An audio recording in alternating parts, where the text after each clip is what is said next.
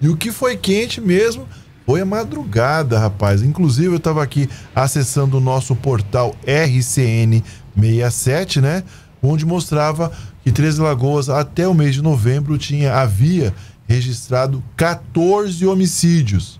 Mais um foi contabilizado nesta madrugada, onde um homem foi morto a tiros lá no bairro Jardim Dourados. Alfredo Neto. É, Israel. Infelizmente, dos 14 agora subiu, subiu aí para 16, já que não havia sido contabilizado nos 14 a morte do Danilo, que estava internado em estado grave. Após a confirmação do óbito dele, então tivemos aí 15 mortes até a data de ontem. Durante a madrugada desta quinta-feira, por volta de duas horas da manhã, a polícia militar foi chamada na rua Doutor José Amilcar Congrubaços, no bairro Jardim Dourados, próximo à Segunda Lagoa, aonde um homem de 35 anos teria sido alvejado por disparos de arma de fogo. A viatura da Força Tática chegou no local, mas a vítima já estava agonizando ali nos últimos suspiros. O Corpo de Bombeiros e o SAMU também foram chamados, foram ao local, mas a morte da vítima já havia sido confirmada depois dos sinais vitais terem sido perdidos durante esse atentado.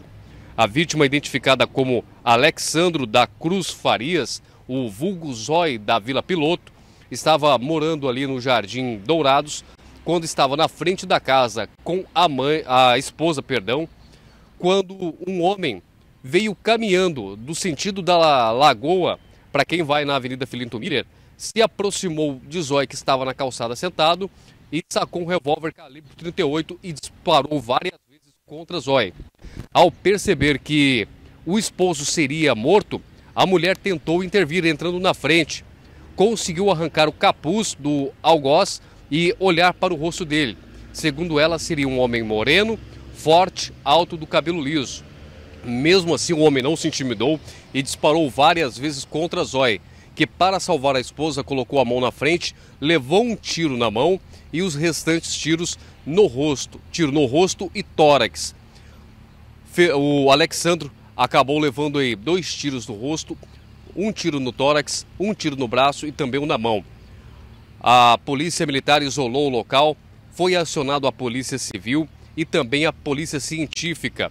Após o trabalho de perícia no local, feita no corpo, o corpo foi removido para o IMOL, Instituto de Medicina e Odontologia Legal, aonde será necropsiado nesta manhã e posteriormente liberado para a família para fazer o velório e o sepultamento.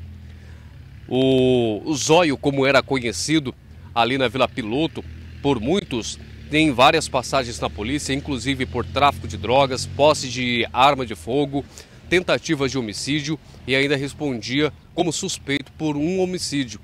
A polícia investiga o caso para tentar descobrir se esse caso de execução seria por conta de dívidas, de rixa ou vingança, para tentar desvendar o caso e descobrir quem seria o autor desse homicídio registrado nessa madrugada ali no bairro Jardim Dourados, aqui em Três Lagoas, Israel.